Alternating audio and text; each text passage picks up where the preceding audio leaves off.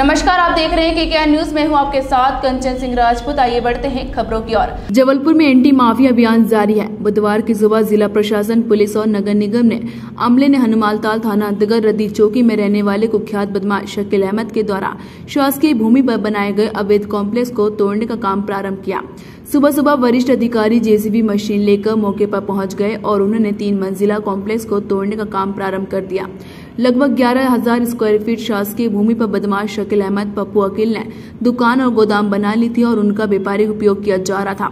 बिना किसी अनुमति के बनाए इस शॉपिंग कॉम्प्लेक्स के खिलाफ कई शिकायतें मिली थी। इस आधार पर जिला प्रशासन ने इसे तोड़ने का निर्णय लिया। लगभग तीन घंटे की मेहनत के बाद शासकीय भूमि पर बने इस अवैध कॉम्प्लेक्स को दहा किया गया और लगभग 12 करोड़ रुपए कीमत की शासकीय भूमि को कब्जे से मुक्त करा लिया गया है। अब इस भूमि में फेंसिंग कर रहे सुरक्षित कर दिया गया। अपर कलेक्टर नमः शिवाय अजरिया ने बताया कि गुंडों और बदमाशों के द्वारा शासकीय भूमि पर किए गए कब्जे को मुक्त कराने का अभियान लगातार चल रहा है। इसके तहत एक बड़ी कार्रवाई की गई है। अभी कुछ और बड़ी कार्रवाई होना बाकी है। इस दौरान बड़ी तादाद में पुलिस बल तैनात किया गया है। जबलपुर से वाजिद खान की रिपोर्ट।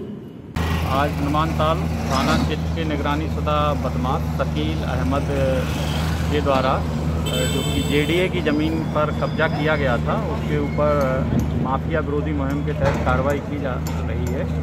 माफिया के द्वारा मौके पर लगभग ग्यारह हज़ार स्क्वायर फीट पर कब्जा किया था, जिसमें से लगभग छः हज़ार स्क्वायर फीट पे कबाड़ का एक फैक्ट्री बनाई थी और दूसरे पाँच हज़ार स्क्वायर फीट पे एक शॉपिंग कॉम्प्लेक्स का निर्माण था, जिसकी बिल्डिंग मटेरियल की सप्लाई होती थी। आज नगर निगम और पुलिस के सहयोग से इस अवैध संरचना को यहाँ पे ढाया जा रहा है। थैंक यू अभी के लिए बस इतना ही। हमारे चैनल में बने रहने के लिए हमारे चैनल को लाइक, शेयर एंड सब्सक्राइब करना ना भूलें।